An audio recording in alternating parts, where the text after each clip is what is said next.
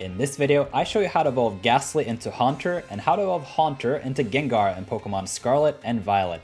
In order for Gastly to evolve into Haunter, it needs to reach level 25 or above. And so if you catch a Gastly that is already level 25 and above, you just need to level it up one more time. You can do this either by battling wild Pokemon or giving it some candies, uh, some experience candies that is.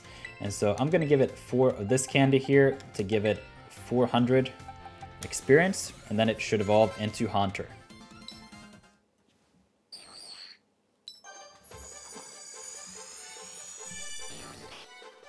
Alright, and Gastly evolved into Haunter. Now, to set this video up, I'll have to give it an Everstone, trade it to a friend of mine, and then he'll take off the Everstone and trade it back. And the requirement, as you can see here, for Haunter to evolve into Gengar is for it to be traded.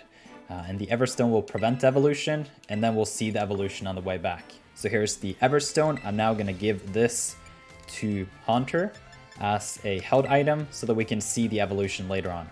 In order to trade with your friend or someone else, you have to connect to the internet if they're not in the same room as you.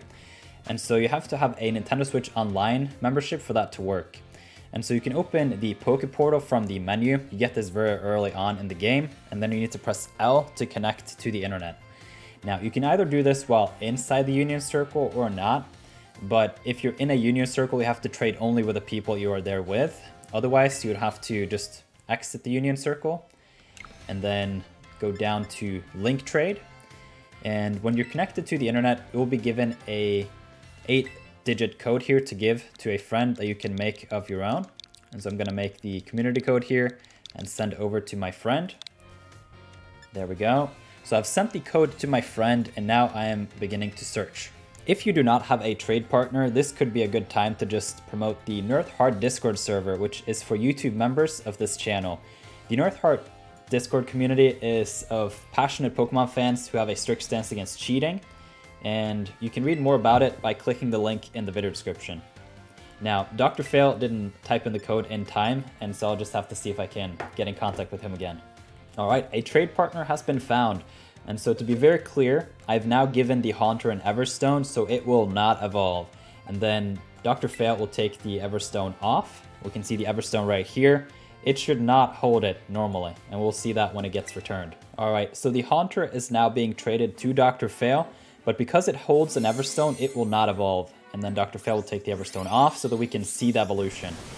And another thing to notice here is if you trade a trade evolution to another person, you cannot prevent the evolution by holding B as with any other evolution. And so, or level up evolution that is. All right, so we are setting up the second trade here. Uh, normally you can just trade back and forth. You don't have to go out and uh, into the trade again, but because of the Everstone, we had to do it this way. All right, so just to double check, we can check the other Pokemon's summary, which, let's see here, should not hold an Everstone. I actually don't know where it's located, but we'll see. And so we are now being traded a Haunter, and since it does not have an Everstone and it is being traded, it should evolve once it arrives to us.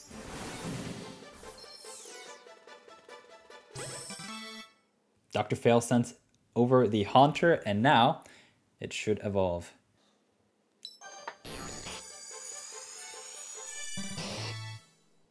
And so the Haunter evolved into Gengar. The last thing I can add in this video is that when you trade Pokemon, it can give you a problem when it comes to obedience. So be aware of that. You may have to get some more gym badges after you trade or before. Uh, but aside from that, I hope this video was helpful. Thank you for watching.